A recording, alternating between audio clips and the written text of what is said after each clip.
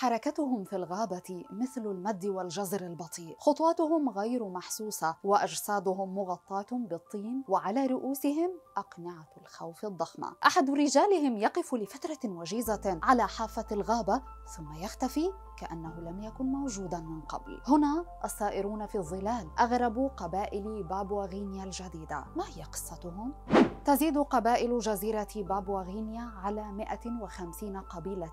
كل واحدة منها لها مظهرها المميز الذي تعرف به بين القبائل. فيأخذون من الطبيعة المحيطة ومن ثقافتهم الممتدة على مدار مئات السنين. مظاهر حياتهم وملابسهم وكل ما يميزهم عن غيرهم. فتجدهم يرسمون أجسادهم بألوان مثل الطيور الغريبة التي يتشاركون معها الغابة. يوجد هؤلاء وتوجد قبيلة أسارو السائرون في الظلال. يأتون إليك بأقنعتهم المرعبة فجأة من دون أن تشعر بهم كأنهم خرجوا من تحت الأرض أو هبطوا من السماء. لتظن أنه آخر يوم في الحياة حيث يدهنون أجسادهم بالطين وهم الأقل زينة وسط القبائل ويظهرون ملطخين بالطين الأبيض من الرقبة إلى أخمص القدمين. كما يحتفظون بأمر واحد وهو المشي ببطء شديد وبحذر أشد. فهم ينظرون باستمرار إلى اليسار وإلى اليمين وإلى الخلف فهم جاهزون لأي شيء قد يحدث وأي طارئ قد يهددهم أدواتهم العسكرية دائما جاهزة. لا يتكلمون كثيرا ويلتزمون الصمت دائما. للوهلة الأولى تشعر وكأنهم قادمون من أحد أفلام الرعب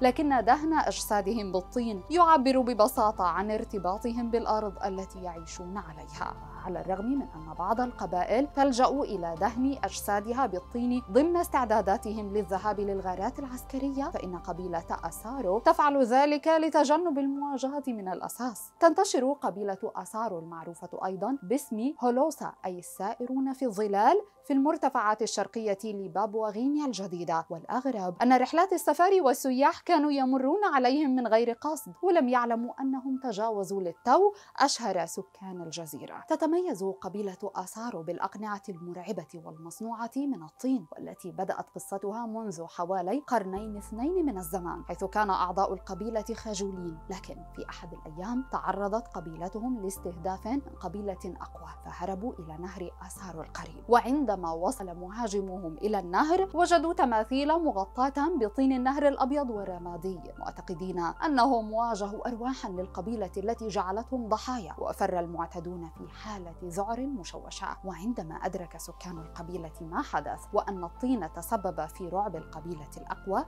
قررت قبيلة أسارو. استهداف تلك القبيلة غلفوا أجسادهم بالطين لكن لم يفعلوا ذلك في وجوههم لأنهم اعتقدوا أن مياه نهر أسارو مضرة. وبدلا من ذلك استخدموا الصخور والعصي وأي شيء يمكنهم العثور عليه لإنشاء أقنعة بسيطة. وعندما ظهروا في هذا الشكل هرب أعداؤهم السابقون وورث أسارو المحب للسلام سمعة عسكرية ضخمة. واستمرت فكرة صناعة الأقنعة في القبيلة وتطورت. فلا يوجد نوعان متشابهان من أقنعة بابوا غينيا الجديدة. كل قناع ينبع من خيال صانعه قد يكون له قرون أو أنياب أو آذان أو أنوف عملاقة أو مطلية جزئيا أو به رسائل محفورة بداخله إلا أن النية الأصلية دائما والهدف منه هو بث الخوف في نفوس الخصم. لتتوارثها الأجيال حتى يومنا هذا.